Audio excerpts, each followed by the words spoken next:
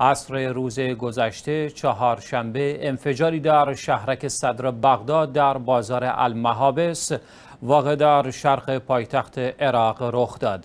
شاهدان عینی می‌گویند این انفجار در بازار معروف به المحابس نزدیک بازار معروف مردی در شهرک پرجمعیت صدر بغداد بر اثر بمب کارگزاری شده در کنار پیادهرو رخ داده و تاکنون مجروح شدن 15 تن گزارش شده است.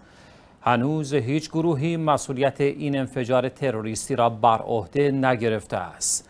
از زمان حمله اخیر جنگنده های آمریکایی به مناطقی در شمال غرب عراق فضای این کشور امنیتی شده است.